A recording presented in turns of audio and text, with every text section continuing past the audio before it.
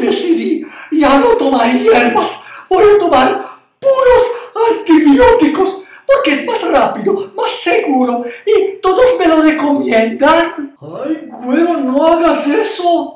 No te vayas a enfermar de verdad.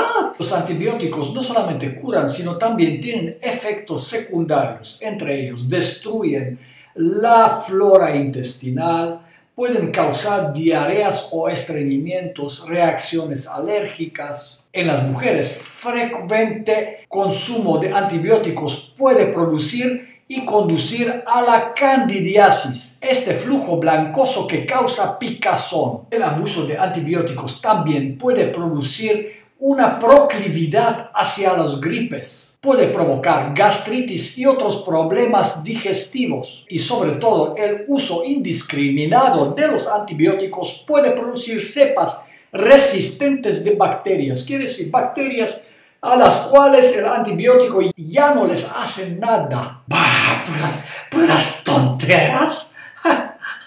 De vez en cuando pienso que debería escucharte menos, querido hablar sobre las plantas que ayudan a contrarrestar los efectos secundarios de los antibióticos para quienes tuvieron que tomarlos o tienen que tomarlos o las toman por decisión propia, que es lo peor. El primer remedio natural consiste en tomar bastante fruta y verdura y evitar alimentos de origen animal, ya sea carne, leche, huevo y lácteos.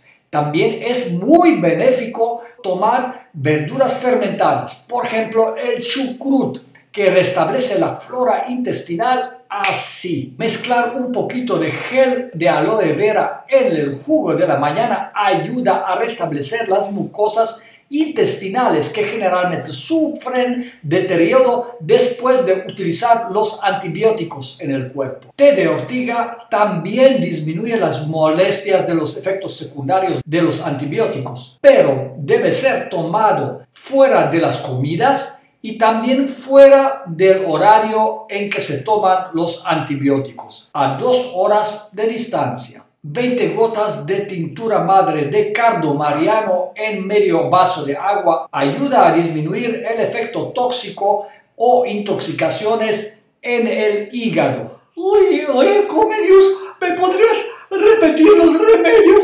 Es que después de tomar los antibióticos me dio diarrea, estreñimiento, se me destruyó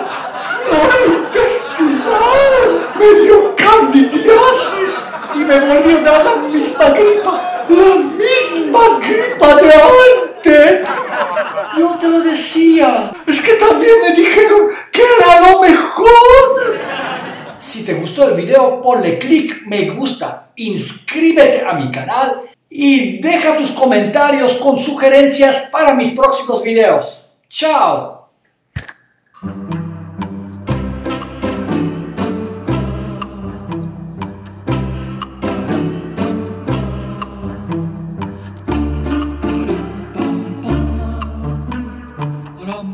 Ba-da-ba-da-ba.